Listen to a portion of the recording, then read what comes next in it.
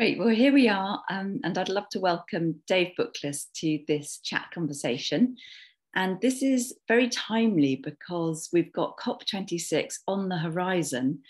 And Dave Bookless is um, Director of Theology at A Rocha International and has a long standing interest in matching or linking theological insight and teaching to biodiversity conservation. So Dave, if, you, if you'd like to explain a little bit about your background as well. Oh, you're muted, hold on. I'll mute myself, there we go. Um, so I've, I've been involved with A Rocha for well over 20 years and been involved in environmental issues for probably about 30 years, I guess. Um, but that wasn't always my plan. I, I um, I left university, became a teacher, then felt a call to ordination in the Church of England, so became a curate and then a vicar, and imagined that I would stay in, in full-time church leadership. Um, but then God increasingly kind of put environmental concerns on my heart, and I kind of realized more and more that this was something that the Bible spoke about an awful lot, and yet I had hardly ever heard about in churches or theological colleges. And um, so I started reading, I started exploring, and then stumbled across A Rocha as a bunch of Christians who were actually doing something about this at that time in Portugal, now all over the world, and um, got involved. And so got involved more and more, ended up doing a part time PhD on theology and conservation, um, ended up co founding A Rocha UK with my wife. Um, and doing a big practical project in, in multiracial London uh, and then ended up moving to A Rocha International um, in my current role. So very briefly, that's a kind of summary of how I've ended up doing this.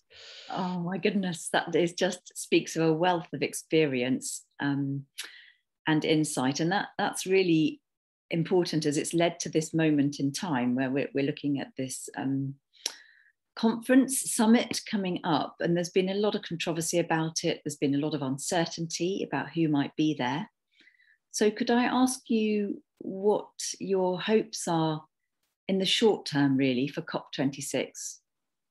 Yes, I think just just to put it in context, um, the COP26 means it's the 26th conference of parties under the UN um, Climate Change Convention. And these conferences normally happen every year. Last year was missed because of the pandemic. And every five years is a particularly significant one when nations are asked to come up with their nationally determined contributions, what they as a country are going to do. And that kind of sets the agenda for the next five years. And this is the fifth conference from the very significant one in Paris, um, COP21, where the world committed itself to trying to get as close as possible to a, a temperature rise of no more than 1.5 degrees, and certainly under two degrees. And um, so this is critical because our window of opportunity for changing things is narrowing rapidly. And this is the biggest COP for the next five years. And who knows how much more chaotic the world might well be in climate terms in five years' time. So this is really significant. Um, and that's why it's so important that countries are coming up with their targets, the dates they aim to get to net zero by, um, and how much they're going to try and move away from fossil fuels. So that's that's the biggest thing really, and and it's a mixed bag. Some countries are are doing quite well. Um, it's encouraging to see that the U US have changed direction completely under their current president. Mm. Um, it's encouraging that even if at the last minute and without much detail, Australia have finally come in with a commitment but there are still very big countries that, that haven't done enough. Uh, and there are lots of countries, our own included, where their targets and their policies don't really match up. Um, and although they say they're aiming for net zero by 2050 or 2060 in some cases, it's really impossible to see how the direction that their planning and policies are going at the moment will actually get them there. And 2050 isn't even going to be good enough, is it? Because people are talking about aiming for 2030. Well, abs- absolutely. And uh, I'm, I'm also a Church of England minister, and, and we in the Church of England have committed to trying to get to net zero um, by 2030.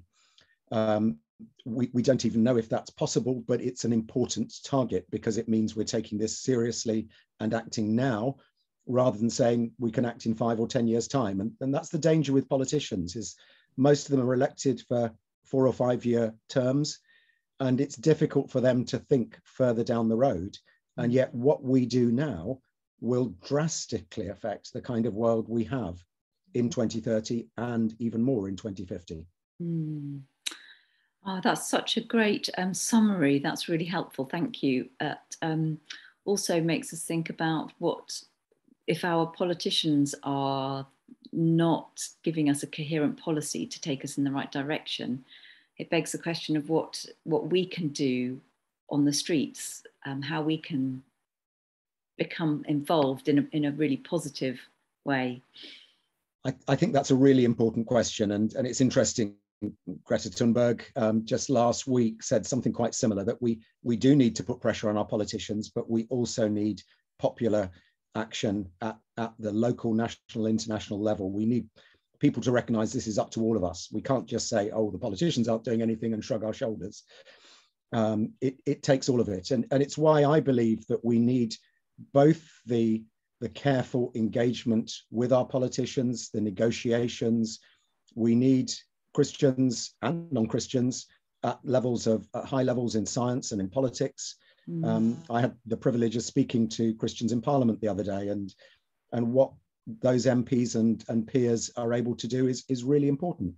Mm. But at the same level, I, I actually think it's really important we have pressure groups like Extinction Rebellion um, and others who will be out on the streets and marching and protesting and writing to their MPs and doing the little local things as well, choosing to move to an electric car, choosing to change their el electricity supplier, mm. choosing to walk or cycle when they can, um, choosing to move to a, a less meat intensive diet, because that's one of the simplest things we can do to reduce our carbon emissions.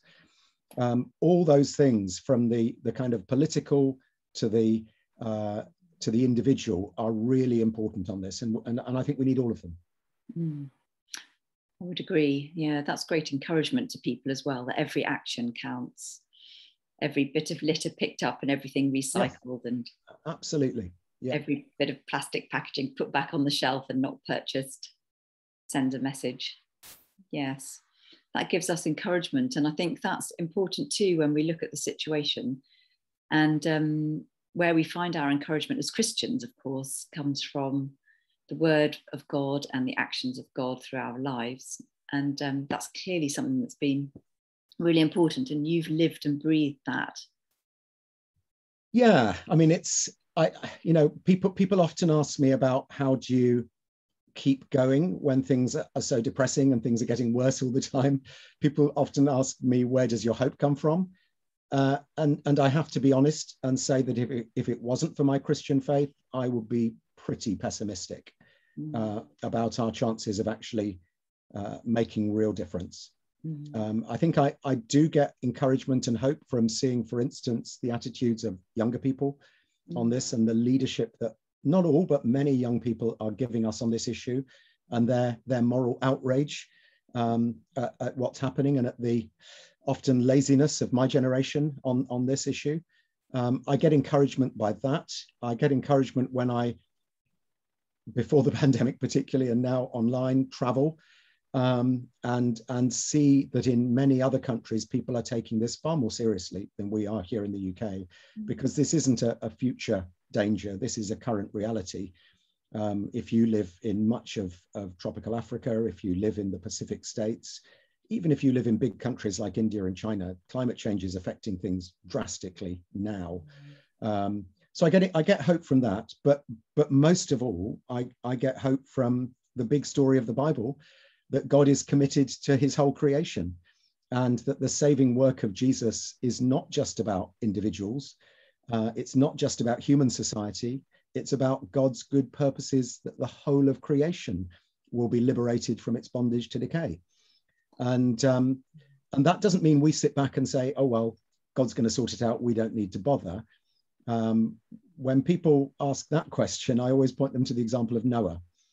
Um, and, and there's an example where there was a, a crisis, a, a major climate crisis in a way, mm. and, and yet God called on a human being to take the lead in, in doing something about it mm. and to be prepared to take action that others thought was ridiculous and over the top and out of all proportion to what was going on because they didn't see the scale of what was coming. And all of that's true now. Mm. And it was action that wasn't just for people, it was action for all species. Mm. They were all included on the ark. So I think there's, there's an awful lot in that Noah story for us today.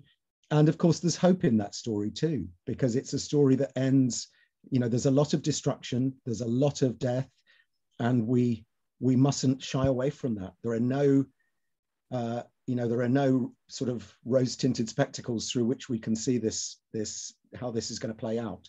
There's going to be terrible suffering in our world over the next decades and whatever we do now that will still happen to some extent. We can lessen it greatly but it will still happen. So we need to have that sadness that lament that grief. Mm. but through that we can also have the hope that you know god's promise with the rainbow a promise to you and your descendants and every living creature on the earth. Mm. Um, a promise of God's God's restoration and redemption for all creation, and that that is the big hope that keeps me motivated and keeps me going. Mm. Oh, thank you for that. That's really encouraging for everybody listening to this.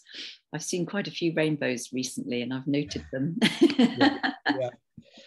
we have to, don't we? Indeed, indeed, yeah. Oh, for um, everybody watching this, I'd just like to add that Dave is going to speak more in detail about um, where the Bible relates to creation care and our hope in the Bible, and about preaching on creation care at the um, Creation Hope webinar we're running this coming Tuesday. That'll be Tuesday, the 2nd of November from 12 till 1. And you'll find that on the Preach web website to, to the link to log in. And if you're watching afterwards, you will also find more resources there too. So I'd like to say thank you so much today for joining us at this very, very timely moment. And we will watch with care what comes out of COP26. And a few of us might be encouraged to write to our MPs and um, do some serious thinking about diet and purchasing habits along the way. So thanks so much, Dave, for sparing us time today. Thank you, Louisa. It's good to speak to you. Oh, that's great.